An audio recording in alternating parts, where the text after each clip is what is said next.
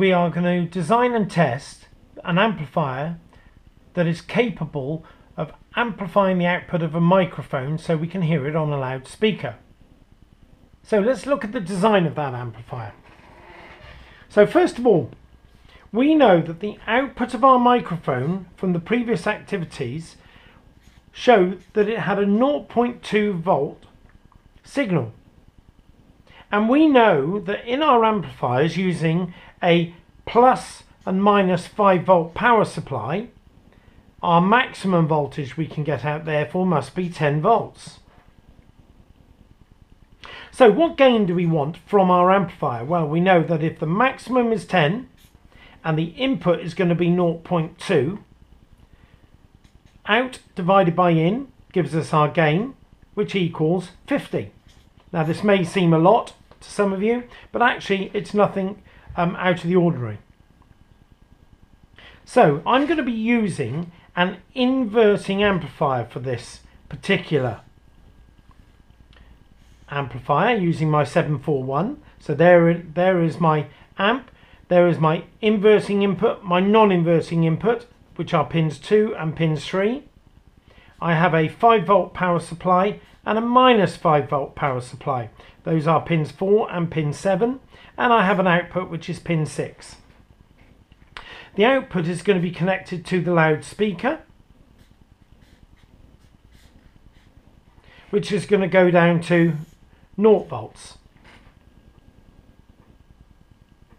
Then my input is going to be a microphone which will also go down to 0 volts. And then I've got my little resistor array of Rin and RF.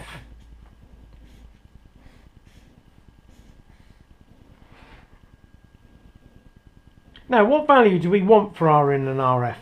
Well, we know that the gain is equal to 50, which is equal to minus RF over Rin.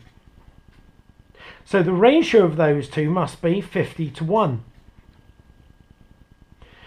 But we're not going to use those as the values of resistors. So if we multiply both of them by 1000, that gives us 50k and 1k. As a general rule of thumb, we always say that resistors in an op-amp should be greater than 1k. Now whilst that's right on the limit, if we were to increase that by a factor of 10 again, that will give us values of 500k and 10k. So those are the values I will use. So RF is equal to 500k and Rin is equal to 10k. And then finally, my non-inverting input is also going to go down to 0 volts.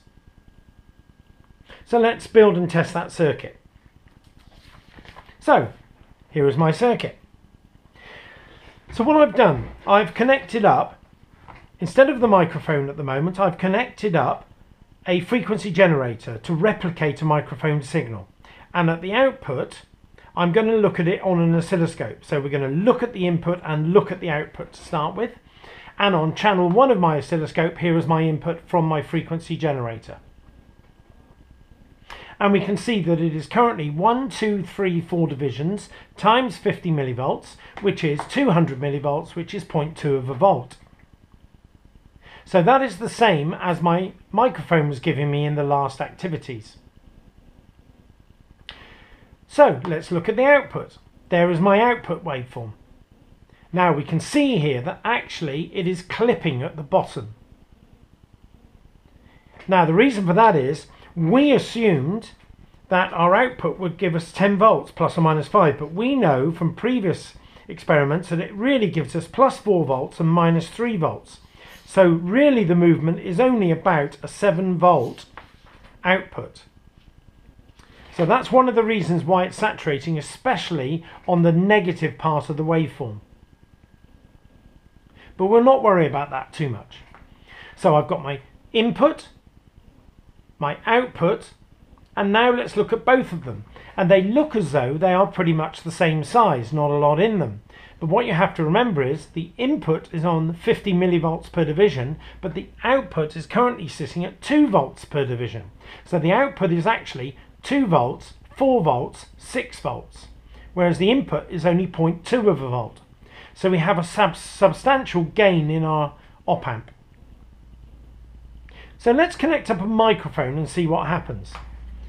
So I'm going to remove the input waveform from the frequency generator because we don't want both in there. I'm going to connect up the microphone. There is my loudspeaker. Let's connect that to the output. And already I can start to hear it hum. So here is my microphone.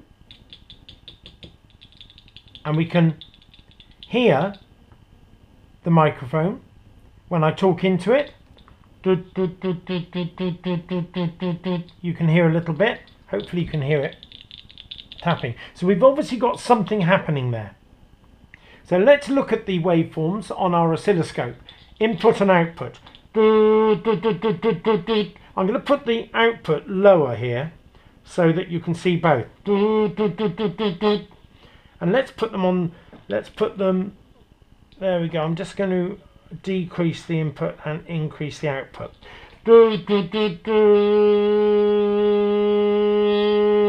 And you can see that the output waveform is quite clearly amplified because the output is on 1 volt per division and the input is on 0.1 of a volt per division. So in other words, the input and output are different by a factor of 10 where the output the output is reduced by by 10 on this. But obviously my amplifier is working. One of the problems with this circuit is that number one, the microphone is quite a poor quality microphone. The 741 is not really designed for any power amplification, just for signal amplification. And therefore, with the loudspeaker drawing current from the output of the circuit, obviously it doesn't function terribly well, and the loudspeaker is not what I would call a quality loudspeaker. But what we're going to do, we're going to have a look at an amplifier that is specifically designed to amplify audio signals. In other words, we're going to be using a power amplifier.